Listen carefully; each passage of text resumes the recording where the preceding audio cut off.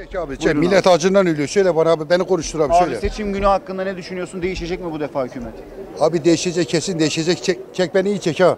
Bu ülkede namusuma, şerefime, bayrağıma, vatanıma, milletime ben yemin ediyorum bütün milli duygularıma bu sistem değişecek. Bu ülke başkanlık sistemini kaldırmaz hemşerim. Ne olursa olsun Türkiye Cumhuriyeti vatandaşı olarak ben bunu ifade ediyorum. Parlamenter sistem. Döneceğiz değil mi abi? İki Aynen öyle. Atatürk'ün ilke ve inkılaplar. Bağımsız olacağız.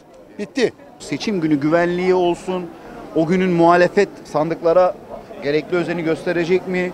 İktidar kısmı YSK'ya baskı yapacak mı? Bunlar konuşuluyor. Öngörüleriniz neler?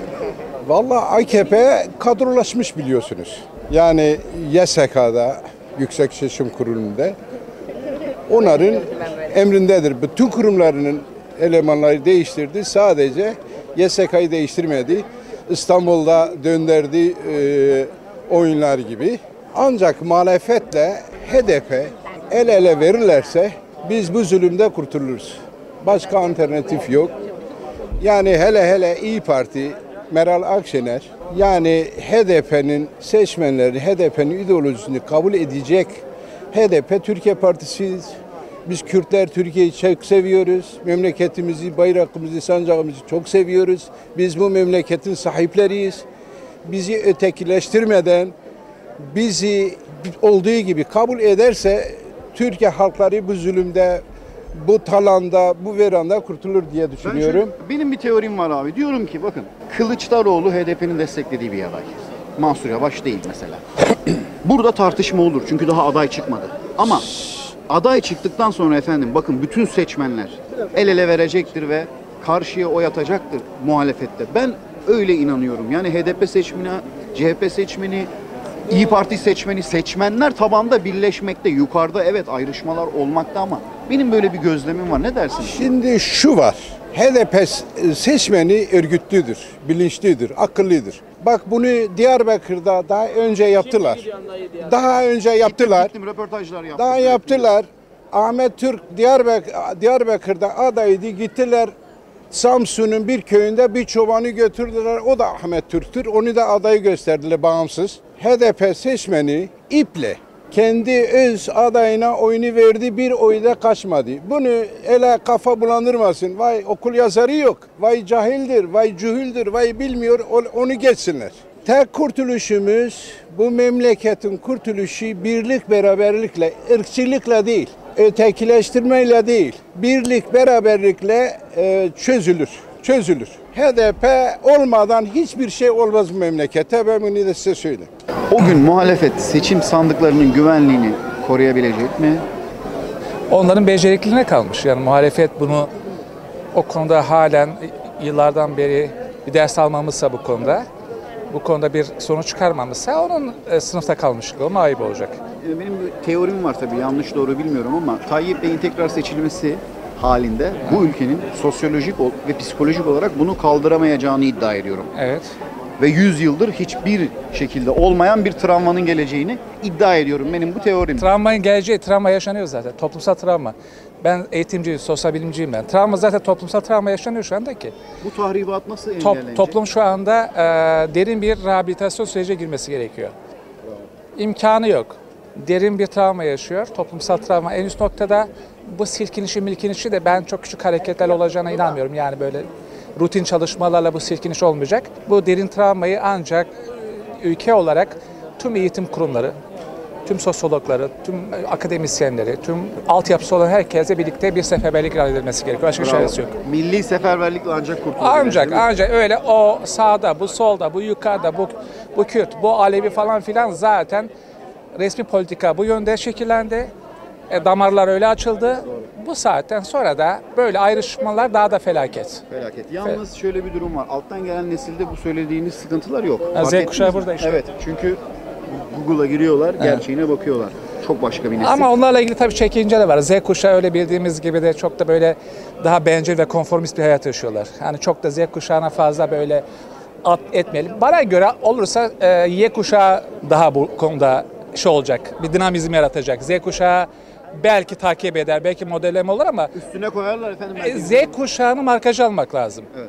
Yani Aydın, işte e, Atatürkçü, e, ilerici, devrimci, sosyalist kesimlerin Z kuşağının e, markaj alması gerekiyor. Yoksa Z kuşağı kendi haline bıraktığı zaman bir şey çıkmaz. Z kuşağı çünkü konformist bir kuşak olarak geçti. Onların şeyi değil. Peki efendim Tayyip Erdoğan kaybedecek mi? Şimdi futbolda böyle bir şey var. Sen yeter ki kötü oynama. Yerinde kalsan hiçbir şey yapmazsan bile kaybeder. Ama kötü oynarsan kendi kalesine atar. Kendi kalene e, gol atacaksın. Tayyip Bey'in şu anda en büyük şey kendi kalesine gol attırmak muhalefeti. Evet. Stabil dursa muhalefet yine iş bitti. Değil mi? Ama hata yapacak. Ufak oluyor zaten. Hata yapacak. Hata yapacak. E, muhalefet hata yapıyor. Yapacak. Hata yapmasın artık yeter bıktık artık. 20 yıldır Erdoğan'dan bıktık artık. Hastalıklarımız var. Bıktık. Hastalıklarımız var. Oy verenlere de çok kızıyorum. Yani bu kadar Yani orada sosyolojik bir gerçek. Halka kızmayacaksınız. sanki o sosyolojik bir gerçek. memleket Erdoğan'ın gibi görünüyor. Ee, hiç kimseye kızmayacaksınız. Tabii halka kızmamamız gerekiyor. Bu Çünkü sosyolojik halk bir gerçek. Sosyolojik Komşumuz, gerçekleri akrabamız. tabii sosyolojik gerçekleri kızarsanız aynı hataya düşüyorsunuz siz. Zaten kızdırılmaya çalışılıyor şu anda. Yani bir kesim bir kesime kızsın. kaostan O beslenirler. kızılan kesim de hemen tutunsun. Kime tutunacak? En yakına tutunacak. Bu zaten bu arkadaşımız kendince ama yöntem olarak yanlış. Kızılmayla olmaz bu işler. Bu bir ülkenin gerçeği, sosyolojik gerçek. Birileri bu boşluğu kullandı, iyi kullandı, iyi idare etti. Ama birileri de seyirci kaldı. Bravo. Falan. Bu şekilde. Yeterli mi? El ele geldiler. El ele getirdiler buraya. Tabii tabii tabii. Şimdi tabii. onun hesabı sonradan sorulur ama hele bir değişsin. Zamanla zamanla sabırlı olmak lazım. Karambol iyi değil. Kılıçdaroğlu kazanacak mı bu defa efendim? Artık bu sefer de kazanamazsa bir daha kazanamaz. Garanti. Yüksek Seçim Kurulu'nun seçim oranlarıyla alakalı şüpheniz var mı efendim? Seçim oranlarıyla gerçekten oynayabilecek güçleri var mı bu insanların? Yani böyle teoriler oluyor biliyorsunuz. Ya eskide yapabilirler de şimdi biraz zor yapmaları. Şimdi artık sandıkların başında herkes dur. Gerekirse halk da durur yani. Evet. Bu özellikle bu seçimde Bu bayağı bir seçimde durmamız gerekir yani. Mustafa Kemal Atatürk'ün izinden ayrılamayız. Çünkü bu ülkeyi kuran Mustafa Kemal Atatürk. Düşmanı denize döken Mustafa Kemal Atatürk. Bizler eğer şu anda yaşıyorsak onun sayasından, onun emeğiyle biz yaşıyoruz.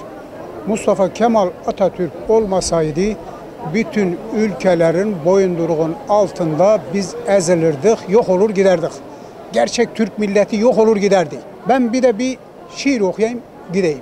Dedim dosta gidem, yollarım çok uzak. Zalim felek kurmuş bana bin bir tuzak. Sarı inek ahurda doğurmuş güzel bir buzak. Hadi hoşça kalın, dostça kalın. saygılar efendim. Eyvallah. Ağzınıza sağlık. Vallahi ben her seçim gününde İzmir adına konuşayım. İzmir'de çok büyük büyük, büyük bir coşkuyla eskisini göndereceğiz diye girdik o işe. Ama hep her seferinde hayal kırıklığına uğradık. Doğru. Ama bu sefer sanki gerçekten gideceklermiş gibi. Çünkü yorulmuş görünüyorlar. İnşallah giderler. Çok çok yorulduk yani. Bu ülkenin içinde bulunduğu çalkantılı süreçler bizi inanılmaz yıprattı. Çocuklarımızı geliştirirken, yetiştirirken e, iki çocuğumda da inanılmaz bir şekilde sıkıntılar yaşıyorum. Ergenlik süreçleri falan yani ortalık o kadar bozuldu ki, her şey o kadar ters gidiyor ki. Güven hiçbir yerde güvenlik önlemi yok. Her şey bozuk. Yiyeceklerin yiyeceklerden aldığımız lezzetler bile değişti.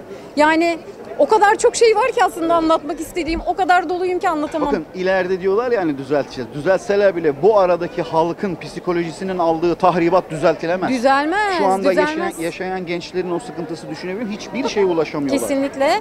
Yani e, bu süreci bizim atlatmamız lazım. Çocuklarımız da böyle deformeli bir şekilde gidecekler o döneme.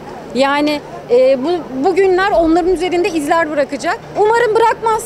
Umarım çabuk toparlarız. Umarım kurtuluruz eskiden. Umarız yeniler gelir. Öncelikle güven önemli. Şöyle söyleyeyim.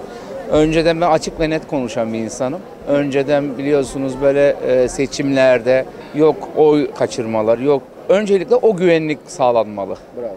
Öncelikle onu dikkate nazara almalıyız. Bakın ben sandık görevlisi de oldum. Ama A parti, B parti, C parti önemli değil. Önemli olan birlik, beraberlik. Bizim istediğimiz gerçekten de e, insanlar artık her şeyden illallah geldi. Her şey pahalı. hiçbir şey alamaz hale geldik. Bakın ben pazar yerlerinde ve bu halkın içerisinde devamlı e, halkın sanatçısıyım. E, denk geldik tesadüf. Burada röportajınıza katılmış oldum. Teşekkür ederim öncelikle. Ama burada bizim istediğimiz olay gerçekten de bir birlik, beraberlik, gerçekten de şu ülkeyi kurtaracak, refaha kavuşturacak insan gelsin. Yani koltuk sevdası için değil, gerçekten de çalışan insan gelsin. Biz onu istiyoruz. Ağzınıza sağlık. Ben Sanatınız hangi icra dairesi? Türk halk müziği, Türk halk müziği ve Türk sanat müziği. Hocam isterseniz bir bukle alabiliriz müsaitseniz. Hem de videomuzda da olsun. Dağda kızıl ot biter, içinde keklik öter. Eşkıyadan da beter.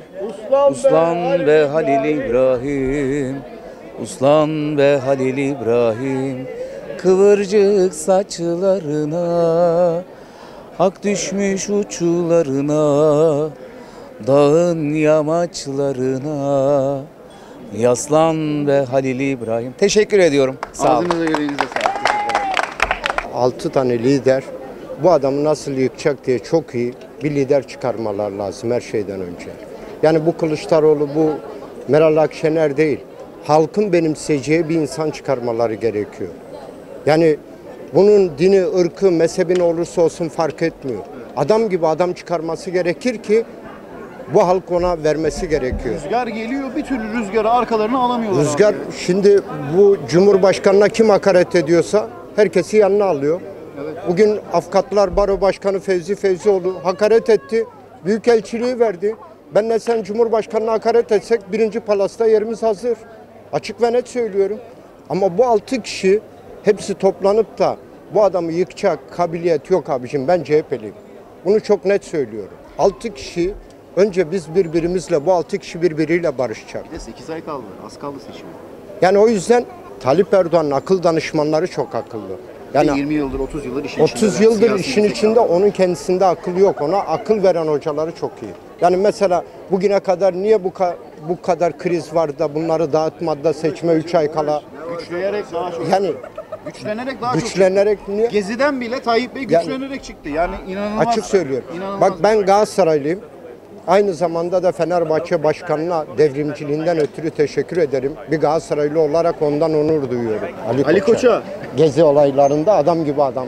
Abi seçim günü hakkında valla düşüncelerim kaydırma yaparım ama yine AK Parti'ye vermem. Yani kaydırma yapıp CHP olur, herhangi olur, boş olur. Yani oraya çizerim başka bir şeye veririm. Her şey olur ama AK Parti olmaz. Ona da veririz. Sizce sizce değişecek mi hükümet? Abi hükümet değişmez. Bizim ülkemizi biliyorsun zaten %90'ı cahilden oluşuyor.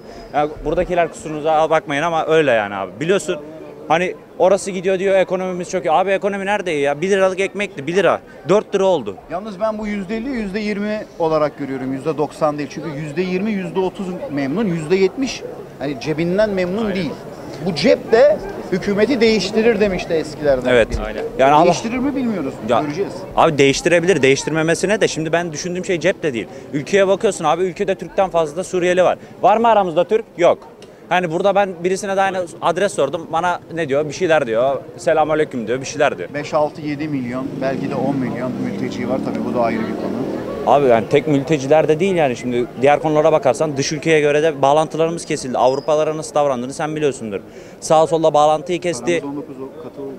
Abi tek para yani her şey para değil diyelim. Hadi her parayı kestim diyelim ya. Hukuksal, hukuksal problemlerimiz var. Aynen öyle abi bağlantılarımız ya mesela bak Birleşik Krallık'ın adamına gidiyor eline omzunu koyuyor. Ya sen kimsin de koyuyorsun? Allah'ını seversen adam seni parasıyla döver.